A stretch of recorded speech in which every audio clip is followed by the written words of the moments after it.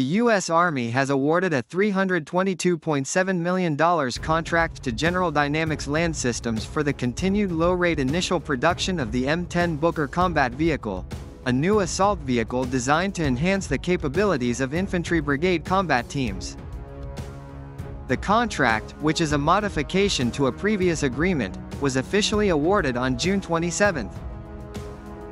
The M10 Booker, named after a distinguished American hero, is engineered to move rapidly across various terrains, engaging and destroying enemy combatants.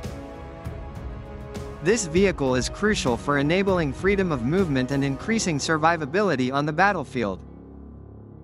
Gordon Stein, Vice President and General Manager for U.S. Operations at General Dynamics Land Systems, emphasized the importance of the M10 Booker for IBCTs. The M10 Booker provides IBCTs with a safe and effective platform to complete their mission, one that may include bunkers, machine guns, or armored vehicles. We are honored to continue to manufacture the M10 Booker combat vehicle, said Stein. The production work will be distributed across multiple locations, including Sterling Heights, Michigan, Anniston, Alabama, Lima, Ohio, Tallahassee, Florida, and Scranton, Pennsylvania, with an expected completion date of October 20, 2026.